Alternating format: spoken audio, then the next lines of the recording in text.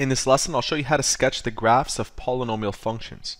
The steps to doing this are outlined right here, and we'll be referring to them as we do the question, which reads, sketch the graph of the function 2x to the power of 5, so it's a fifth degree polynomial, and the rest of the expression is shown. Now keep in mind that the question is asking for a sketch. Therefore, it doesn't have to be completely accurate. All we're looking for is the correct shape of the graph. Step number one says determine the end behavior. To do this, as shown in one of our previous videos, you take a look at the first term of the polynomial, specifically 2x to the power of 5. That's the highest degree.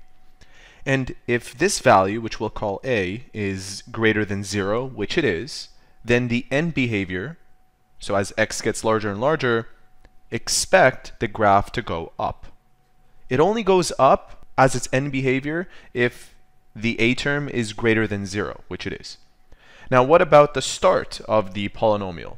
The exponent here, given that 5 is odd, this means that the graph will be starting below the x-axis, making its way up.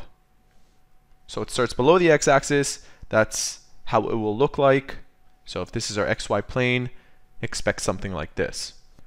Let me just erase that for now. Moving on to step number two, plot the y-intercept where the function is set to x is equal to 0. So I'll set x equal to 0, and what I will find is that f at 0 is 12 in this particular case. So let me start to plot, or let me start to sketch what this is starting to look like. This is our y-axis, this is our x-axis, and we have a point, definitely, at 0 and 12. And we know that it will go this way, and it will start below the x-axis. Step number three says use the rational zero theorem and factor theorem in synthetic division or the intermediate value theorem to find all zeros and completely factor f. However, before we do any of this, let's use Descartes' rule of signs to tell us how many positive real zeros there are and how many negative real zeros there are.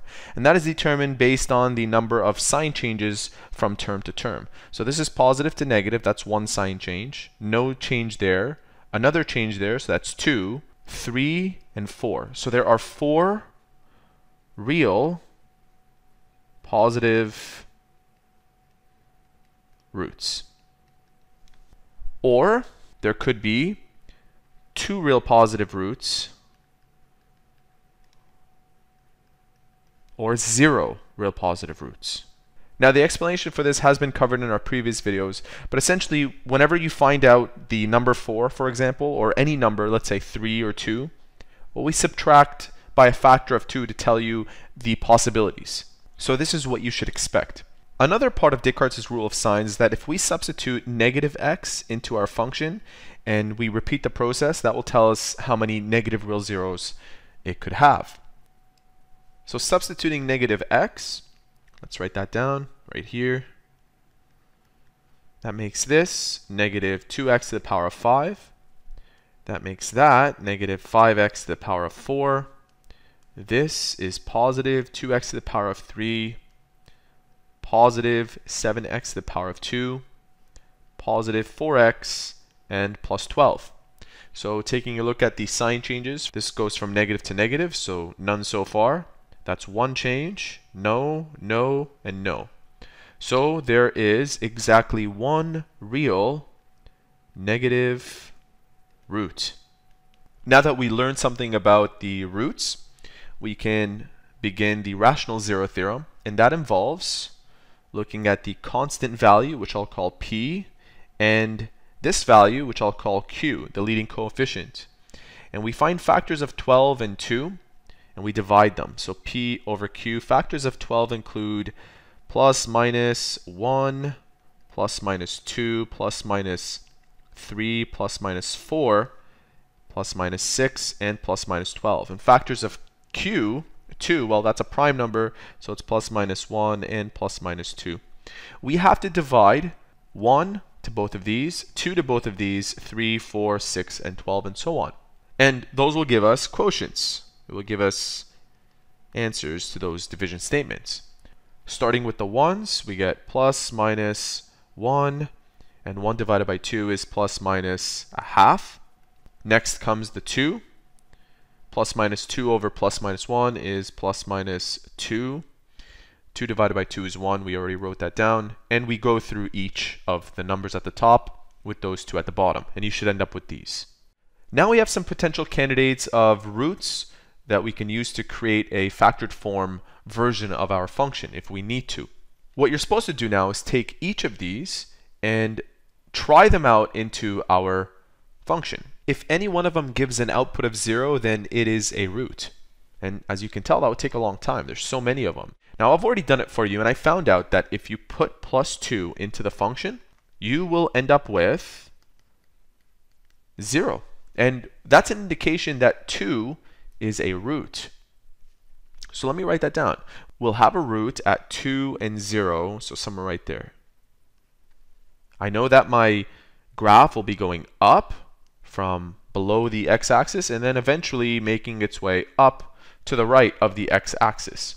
This also accounts as one of the real positive roots. There could be four, there could be two, there could be none. Obviously, there is one, so we can discount that. And let's see what else we can find out. If you substitute f at negative 2, you will end up with negative 80. And we can start to use this with the theorem explained here known as the intermediate value theorem. So if f at negative 2 is negative 80, and f at 0 happened to be 12 from earlier, given that these are opposite signs, there exists a root between 0 and negative 2. And as mentioned, there is one real negative root, so this will help us find it. f at negative 1 happens to be 18, so we can start to narrow it down. It will be between negative 1 and negative 2, along here, negative 1 and negative 2. So let's say that that right there is negative 1 and negative 2. There should be a root in between. Interestingly, if you plug in negative 0.5 into the function, you will end up with an output of 0. And remember, negative 0.5 was one of the quotients we found earlier, so let me show that on the graph. I'll put a line randomly between these two, and f at negative 1 happened to be 18, so it should go up, and then eventually it will cross the y-axis. And we'll have a point right here as well. Let's say that it is negative 2 and 80. That's one of the negative real roots that we discussed. This would be negative 1 and 18. And our sketch is coming along just fine. If I were to substitute f at 1 into my function, I end up with 10. So f at 1 is 10. That's below 12, so expect something right here. So it should look like this. It's starting to bend. And it will eventually reach the point 2 and 0. To determine what happens after 2 and 0, you can choose test values that are greater than x is equal to 2 to see what will be outputted. It turns out that any value you choose bigger than 2 will give a positive output for this function. This means the graph will never cross the x-axis. Remember something interesting from a past video. Only an even multiplicity will produce a graph with this type of behavior. Therefore, it's consistent with what we learned earlier from Descartes' rule of signs that said it's either two real roots or four. So we would expect this sort of thing to happen where the graph doesn't cross the x-axis even without test values. So what you see right here is the sketch that represents our polynomial. And there you have it. That is how to sketch the graphs of a polynomial function.